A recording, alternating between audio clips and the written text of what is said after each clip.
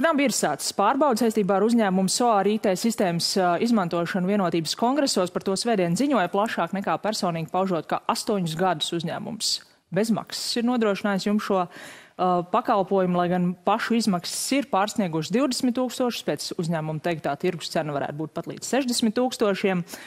To esot pieprasījis tā laika partijas ģenerālsekretārs Artis Kampars ar argumentu, ka uzņēmumam jau ir samaksājis valsts par nacionālajām vēlēšanām. Te, protams, ir jāpiebilst, ka šis uzņēmums, kurš šobrīd par to stāsta, pats ir iesaistīts procesā par iespējamu līdzekļu izkrāpšanu no CVK, un tomēr Kampars žurnālistiem, kolēģiem pauda, ka neatceras ne ēpastus, kuri prasīts samaksāt par šo pakalpojumu, ne arī to, vai ir bijuši kādi līgumi, bet no viņa prāta kaut kādiem maksājumiem no jaunās vienotības puses būtu bijis jābūt. Esat pārbaudījuši, ir bijis?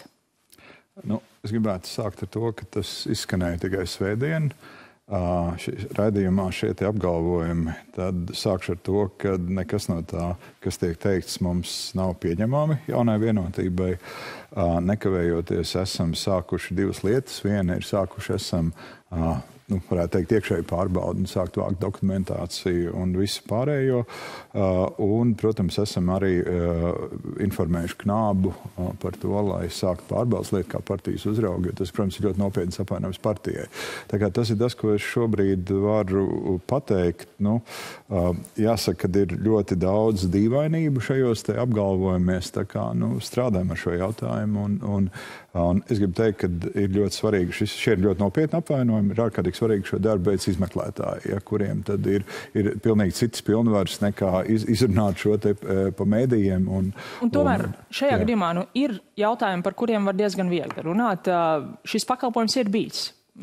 Uh, Pēdējos gados mēs izmantojam pilnīgi citu piegādātāju. Iepriekš, jā, vienotība ir izmantojusi šos te, šo te, šī te uzņēmuma pakalpojumu. Un tad nākamais no tā izējošais jautājums, vai vienotība ir samaksājusi par šo pakalpojumu? Tā tad vismaz pirmā pārbauda rāda, ka mums nav neviena izstādīta rēķina par šiem gadiem, kas ir kā jau teicu, ārkārtīgi dīvaini. Un nav izvirzīta neviena pretenzija, un, un arī mēs neatrodam nekādus citu veidu rakstisku sarakstu tad eh, nu, tā jūsu versija ir, ka uzņēmums ir pats labprātīgi jums eh, nodrošinājis bez maksas šo pakalpojumu, un eh, vienotībā neviens nav īsti tam pievērsis uzmanību? Nevaru šodien komentēt, vai kā savādāk tas apgrūtinājums ir tajā, kad ar apsūdzībām nāk darbinieki, kas ir paši bijuši iesaistīti tajā visā, tad ir, ir arī tie, kas ir strādājuši šo jautājumu, šobrīd nestrādā vienotībā. Tā kā ir, ir mēģināsim restaurēt visu pēc kārtas. Es vēlreiz saku, šīs ir, es negribu sasteigt neko, tāpēc, ka šīs ir ļoti nopietnas, ļoti nopietnas apvainojums partijai. Tā kā mēs tikpat rūpīgi kā iepriekšējā gadījumā, mēs izmeklēsim visu un, un dosim tad atbildi. Nu, premjera vakar uz jautājumu par šo pašu atbildēja, ka viņi 2011. gadā vispār ir bijusi citā partijā, to laika Zatlera reforma partijā, bet tas, ko saka uzņēmums, ka šī praksa ir turpinājusies astoņus gadus, tas ir līdz 2019 gadam, un tad premjeri jau bija klātesoši, jūs gal galā arī esat bijis klātesoši. Nu, ko jūs pats varat teikt? Jūs esat domājis, nezinājāt, zinājāt, sistēma ir, samaksa nav? Jā, ir, ir svarīgi saprast, kā partijas darbojas. Un partijām ir, ir divas daļas. Viena ir valde, kurā ir, man liekas, 12 valdes locekļi, un mēs tiešām strādājam ar politiskiem jautājumiem. Tur politiskā darba kārtība ir ļoti komplicēta, un viņi ir prasa gan bieži, bieži vien tas pat vairāk nekā nedēļā notiek viena valdes sēde, lai risinātu šos jautājumus. Otrs ir partijām ir biroji, un partiju biroji atskaitās noteiktā kārtībā, sniedz auditētas ziņas ziņojums. Partija biroja finanšu darbību uzrauga knaps. Šī sistēma, mūsuprāt, ir un auditors, un tad šī sistēma ir pietiekami pārskatāma.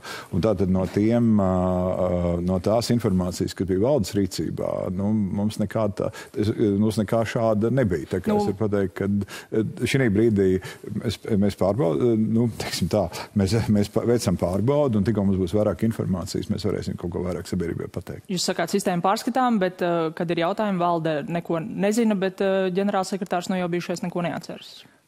Es, nu, mēs viņu nenodarbinām vairāk, tā kā nu, mums nav iespēja viņu iztaujāt tā, kā darbinieku varētu iztaujāt. Bet tad ātri rezumējot to, ko jūs pats tikko teicāt, pakalpojums ir bijis, bet rēķinus jūs neesat atraduši. Nu, Šobrīd nu, tad vai mēs, tur nav runa par iespēju Es arī nevaru pateikt, ka tā sistēma ir tā teikt labā kārtībā. Tie kolēģi, kuri no 8 gadus taču balsojāt kongresos. Ir, protams, jā, bet tie kolēģi, kas pamet darbu, nav atstājuši to visu labākajā kārtībā, labākajā tādā kārtībā. Bet, uh, ir šobrīd manā rīcībā nav datu. Jā.